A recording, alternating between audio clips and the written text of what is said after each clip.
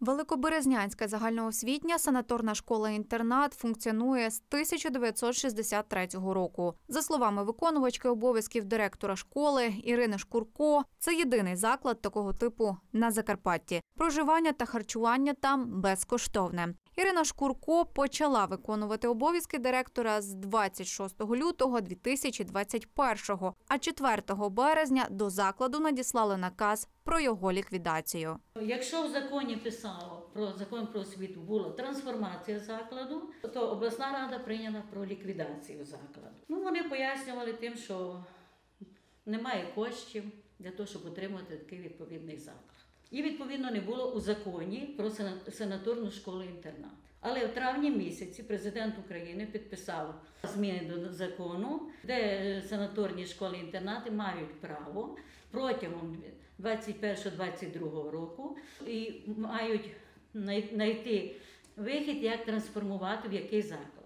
Зараз у школі-інтернаті навчаються 140 учнів не тільки з Великоберезнянської громади, а й Мукачівського, Ужгородського, Хуського районів. 60 із них двічі на місяць залишаються у школі на вихідні. У закладі 11 класів. Учителька початкових Лариса Пекар працює там 32 роки. Жінку, як і інших працівників, керівництво вже повідомило про початок ліквідації.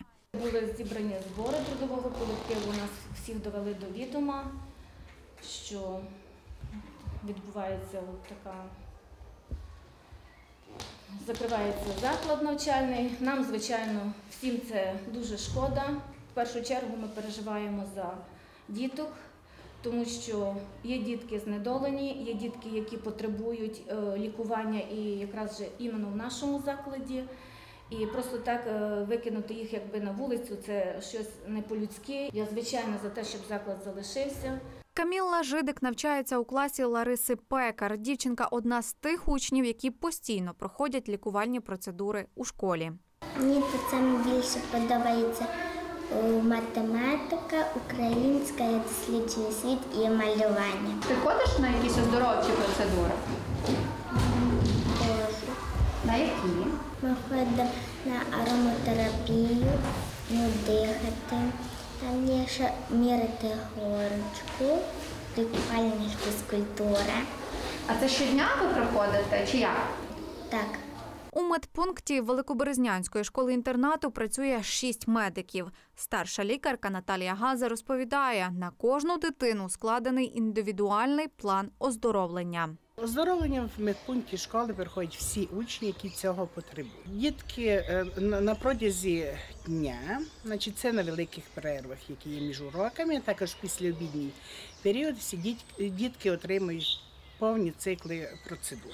Діти знаходяться в нас захворювання легеневої системи, бронхолегеневої захворювання серцево-судинної системи. У звичайних школах вони не будуть мати того, що мають у нас, от тих циклів лікування. У липні 2020 року проєкт рішення про ліквідацію цього закладу вже публікували на сайті обласної ради. Тоді на черговій сесії його зняли з розгляду. Завтра, 20 травня, питання Великоберезнянської школи-інтернату санаторного типу внесли на порядок денний сесії облради. Про це Суспільному повідомив заступник голови Денис Ман. За словами Ірини Шкурко, до облради збираються прийти батьки дітей та колектив школи. Ірина Олах, Іван Шемко. Новини на Суспільному.